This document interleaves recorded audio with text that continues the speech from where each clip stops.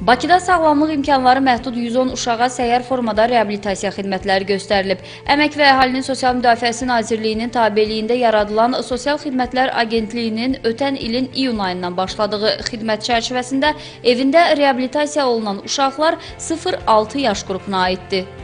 İlk öncə bizim mütəxəssislərdən ibarət komandamız evlərə səfər edərək uşaqların vəziyyətini ilkin qiymətləndirirlər.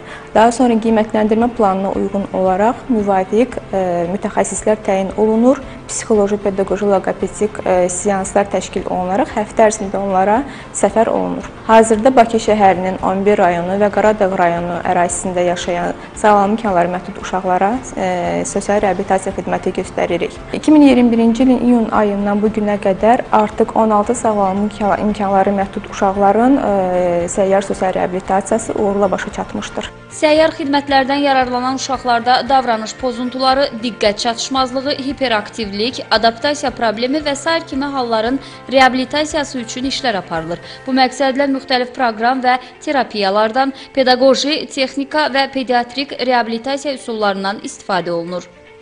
Biz ilk olaraq uşaqlara fərdi reabilitasiyaya uyğun həftədə e, cədvəl qururuq və bu cədvəllərə uyğun olaraq işlərimizi başlayırıq. E, mən loqoped olaraq e, nitqini ilk olaraq məsəl üçün e, nəfəs gimnastikalar, dil, dodaq bu gimnastikalarla başlayırıq. Səslərin qoyuluşundan, səslərin korreksiyasını edirik.